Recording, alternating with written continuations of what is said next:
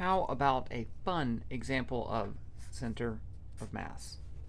So suppose I have this right triangle like this, and there's see, you know it's a right triangle because put that little symbol there, so it has to be right. It's it's legally required to be center to right, center of right. I don't know what I'm saying. Okay, so suppose it's like a um, a piece of sheet metal that's cut out, and the question is where's the center of mass?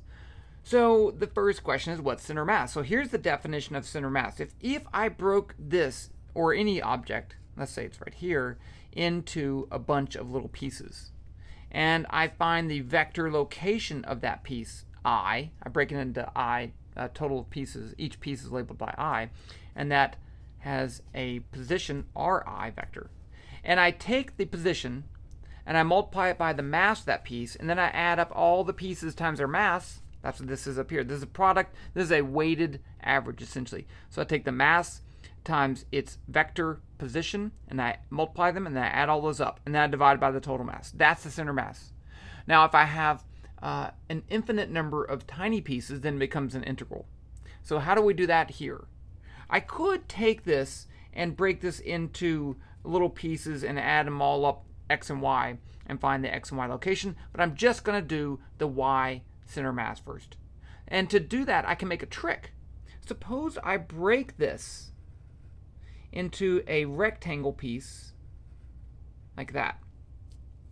And this rectangle piece has a height of dy, because it's in the y direction, and it has a length of L.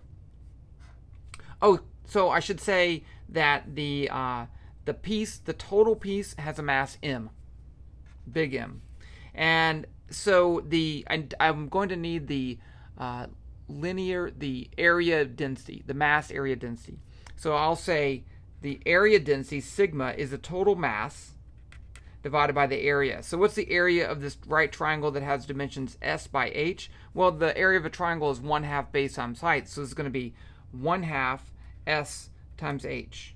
So this is going to be 2m over sh. That's my area density. So if I know the area density and I know the area of this piece, I can find the mass of that piece. And then I can I know where the uh, center of mass of this one little rectangle piece is. It's right in the center, which is at some value y. So I can, as I add up all these pieces, then I can get the center mass. Now, the location of the center mass is easy. But the mass is not because look, if I'm up here, I can find the location, but it's a it's a shorter piece. It's going to have a smaller mass. So let's find the area of each of these pieces. Let me just write this down. Okay. So I'm going to say what's the uh, what's the mass of that piece? I'll call it dm. dm is going to be equal to the uh, area density times the area, which is going to be length times dy. So that's the mass of one single little piece. And and it's a differential mass because as the derivative, as the p size goes to zero, I'm going to get an infinite number of these, which is good for my integration. So then I can, let's just go ahead and put that in my y center mass.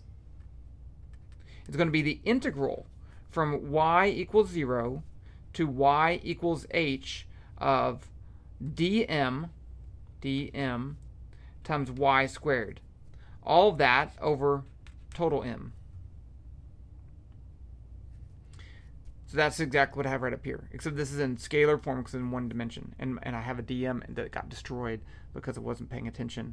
I had a text message and I was looking at that. So there's my integral. So I need to get dm. I can put that down here and let's just go ahead and do that.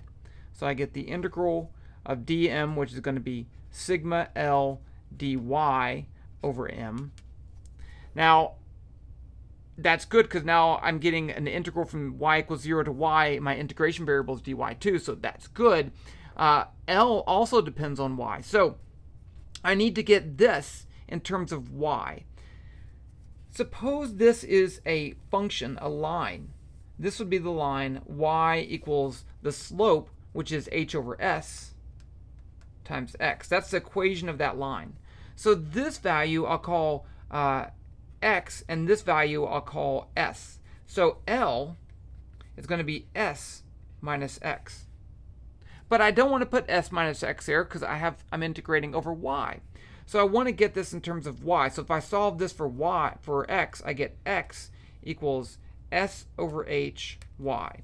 So that means L equals s minus s over h y. And let's just check, right? Because if I go all the way up to the top here at y equals h, the length of the piece should be 0.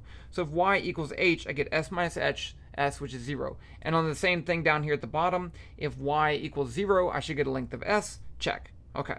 So now I can put this in over here. So I get y center of mass equals the integral from uh, 0 to h of sigma, which I'm going to go ahead and put in sigma, 2m over sh, L, s minus s over h y square. okay, I missed. I put I put in dm, but I forgot the y squared. There's the y squared. Okay, that was my fault. Sorry. y squared. See, but you notice I I saw the problem, and so I was able to correct it, and then I had the dy too. Okay, so here I have the sigma, sigma.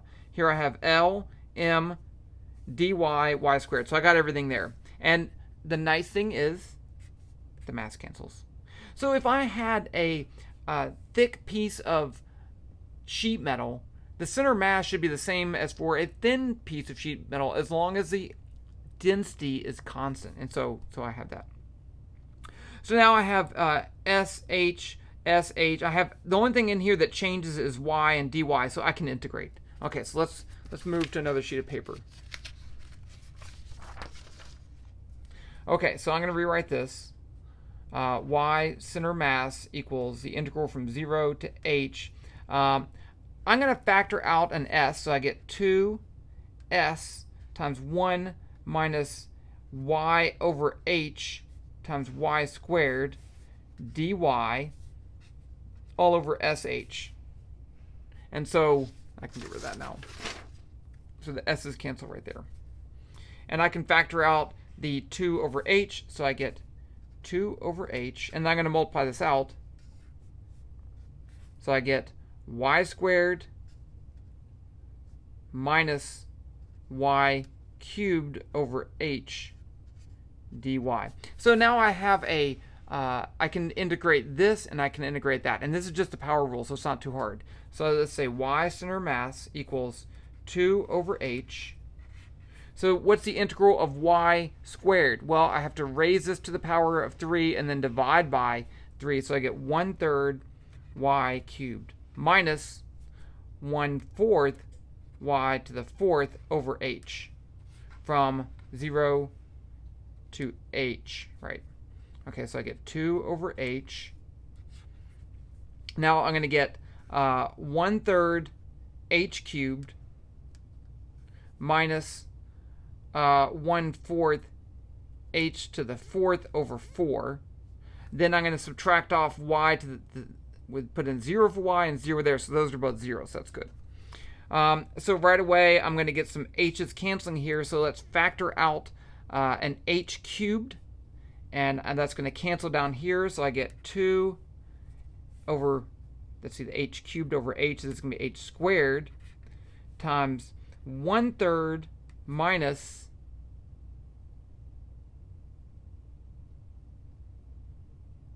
wait, h to the fourth, h cubed. See, y cubed over h. h to the fourth. This is an h. That's why. See? I'm just a sloppy person. Okay. So then I have h over h, which is 1. So minus 1 fourth. But I'm getting h squared. I should just have h. Let's see, wait. Okay, so I factored out h squared h cubed, and that got h. And that was h over h. Hmm. Feel like I'm missing something because it should be, it shouldn't be h. I'm going to keep going. Okay. So now I get 1 third minus 1 fourth is going to be equal to 2 h squared times 4 twelfths minus 3 twelfths equals, then I can factor that out, and I get 2 over 12, or 1 sixth h squared. And see, so that's wrong, because it couldn't be h squared. So where did I make a mistake? Maybe I made a mistake on purpose as an instructive lesson. Okay, so, uh, no, that's what I did wrong. It's not y squared. It's not y squared. This, do you see a y squared up here? Do you see y squared up there? No, I don't. I was thinking of the moment of inertia. I don't know why. So this is just y. Let's let's put this in in red because x, x, x,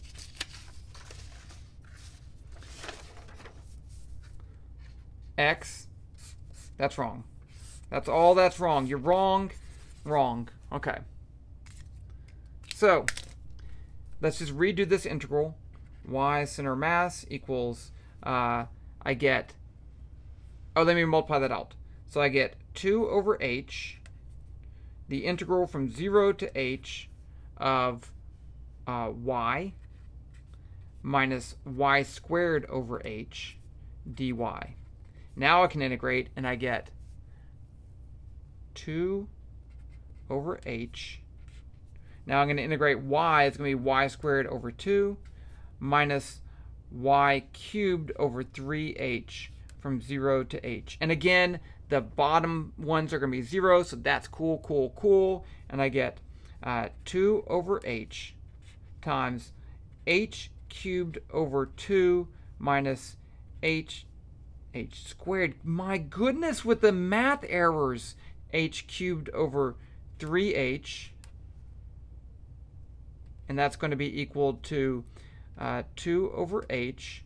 And I'm going to get, there's an h squared that factors out. And then I get 1 half minus 1 third.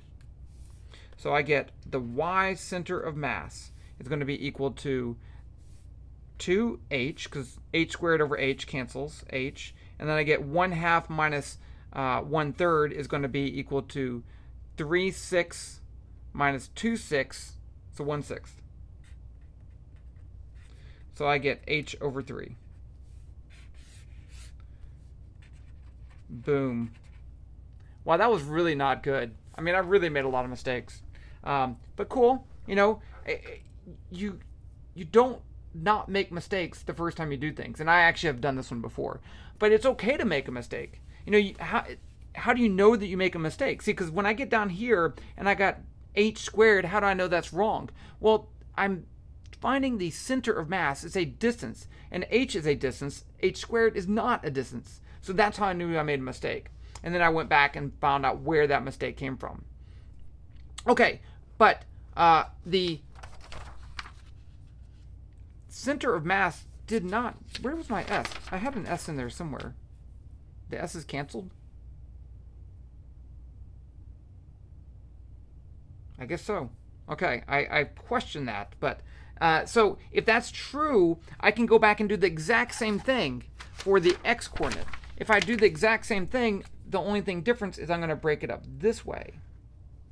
And I'm going to add up this way. But it's still a right triangle. The only difference is now I could be considerate doing it this way.